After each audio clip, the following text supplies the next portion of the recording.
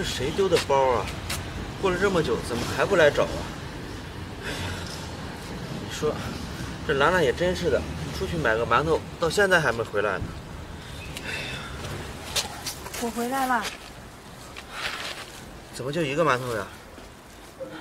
我去的晚，人家就剩一个了，要不你吃吧？算了，我不饿，你吃吧。你不吃饭那怎么能行呢？这早上就没事，这中午再不吃饭的话，你的身体也受不了啊。要不这样吧，咱们两个一人一万。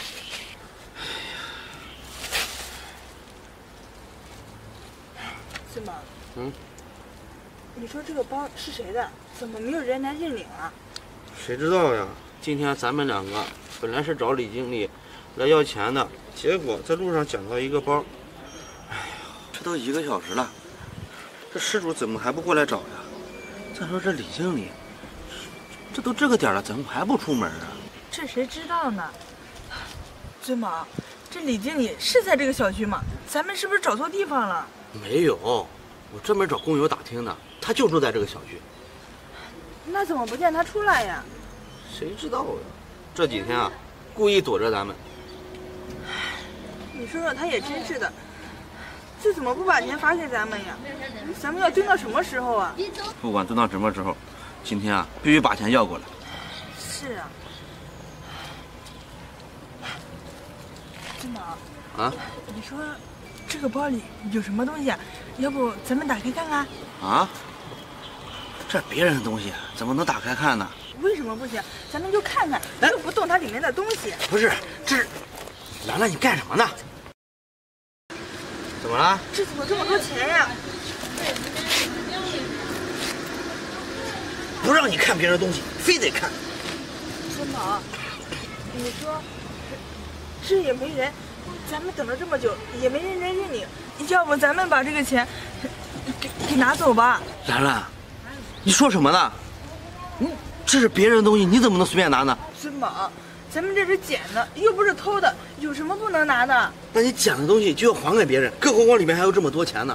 你这跟偷有什么区别啊？不行。有什么不行的？咱们等了这么久，也没人家认领，说不定人家就不要了呢。兰兰，我告诉你，就是不行。尊宝，你怎么这么死脑筋呀？你别忘了，咱们干到现在手里一分钱都没有，这妈在家生着病呢，你哪有钱给她看病？要不咱们把这个钱拿走？兰兰，我再说一遍，不行，这是别人的东西，咱们不能拿。咱们今天不是来找李经理要钱来了吗？等咱们把工资要到手，咱们就回去给我妈看病。你说的轻巧，在这等李经理，这李经理连门都不出，你上哪找他去？你就是找到他了，他万一不给咱们钱，咱们还是没办法回家给妈看病呀。这给我妈看病需要用我们自己的钱，咱们不能用别人的钱，咱们拿别人的钱这是犯法的，这是偷，你懂不懂啊？这件事你别再想了。就你好心。哎呀，你说说我。怎么那么不小心呀？这包能丢哪去呀？我得赶快去找找。这都找遍了，怎么也没找到呀？这能丢哪去呀？我去前面问问去。啊，那有两个人，我去问问。哎，小伙子，我想问一下，这个包是你捡的吧？是啊，你怎么知道？小姑娘，这个包是我的。哦，是你的。你说说你怎么这么粗心大意啊？我们都等了你多久了？既然是你的，那给你。哎，那个等一下，你说这个包是你的，你怎么证明啊？小伙子，我这包里有八万块钱现金，另外还有我的身份证，还有公司的文件。你你等一下。哦，还真有一张身份证。你叫？我叫李翠兰。翠兰，就是她。是你的，那你把包拿好，下次别再丢了。小伙子，真是谢谢你们了，要不是遇到你们的话，可能我的包呀也就找不到了。更主要的是，我这里面有公司重要的文件，如果要是丢了，这真不知道要损失多少钱呢。哎，要不这样吧，小伙子，给这些钱你拿着，作为阿姨对你的感谢。那真太谢谢你了。哎，拿人的钱？什么呀？大姐，钱啊，我们就不要了。这是我们就是帮你捡了一个包，不用这么感谢我们。哎，小伙子，那怎么好意思呢？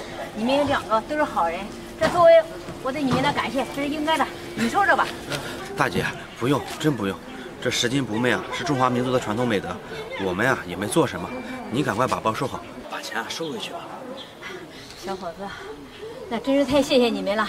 我看你穿这身，你是不是在附近工地上干活的？啊，对，我们呀就在前面那个工地干活呢。哦，你说的那个工地呀？那你们两个在这坐着干嘛呀？还说呢，大姐，你说我们在那个工地干了多长时间了？这我们那个经理一直到现在也没发给我们一分钱，所以啊，我们两个在这坐着等那个经理呢。他就住在这个小区。哦，那个工地还会拖欠工资吗？是啊，这都拖欠的有有小半年了。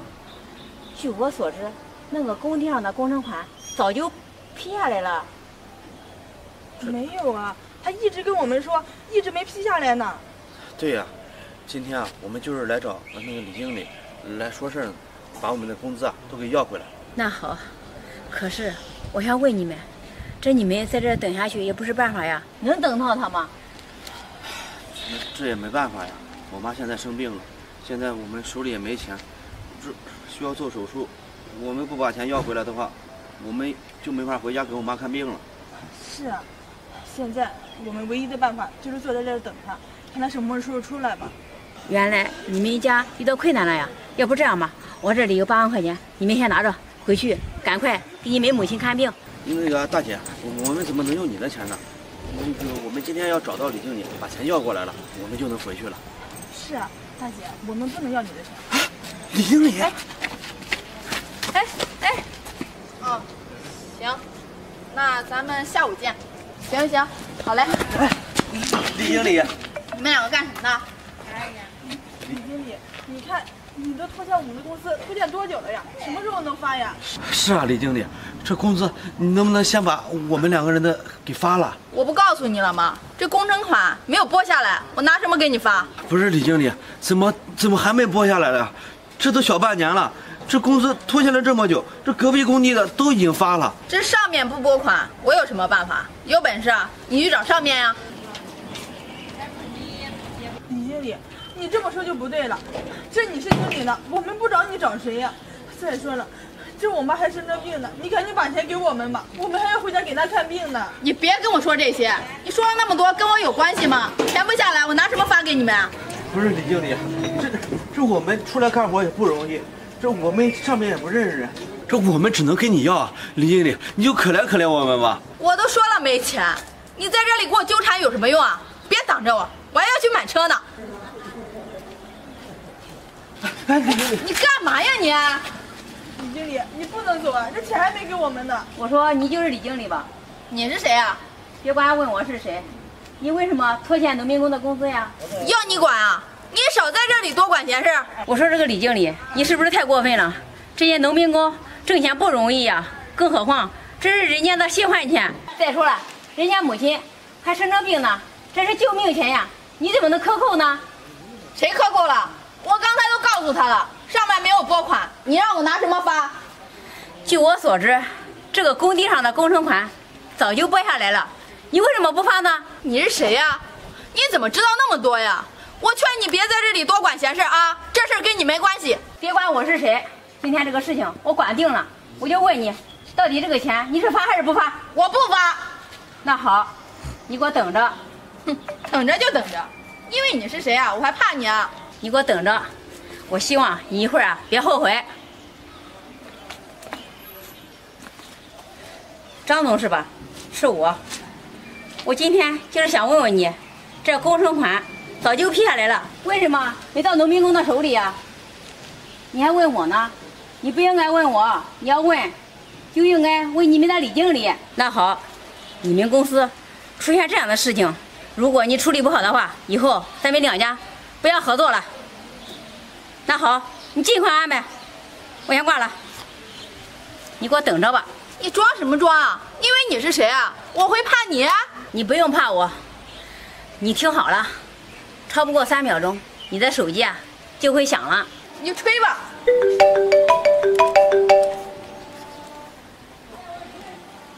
喂，老板，怎么了？什么？不是，为什么呀？啊，好好好，我我知道了，我现在马上去找你。哎，你究竟是谁啊？等我回来，我再跟你算账。这这李经理走了，咱们的钱怎么办呀？没事，小伙子，一会儿呀，你们两个的工资就会到账了。什么？大姐，你说的是真的吗？当然是真的了，你们两个就等着吧。那如果是这样，真的太谢谢你了。不要客气。工资到了。真的到账了，谢谢你啊，大姐。是啊，真是太谢谢你了。你们两个太客气了，这是你们应得的。赶快拿着钱回去给你们母亲看病吧。是是是，那大姐，那我们先过去了，回头我们再来感谢你。小伙子，走，我的车呀就在那边停着呢，我带你们回去。嗯那行，真是太谢谢你了。走吧。你了。哎，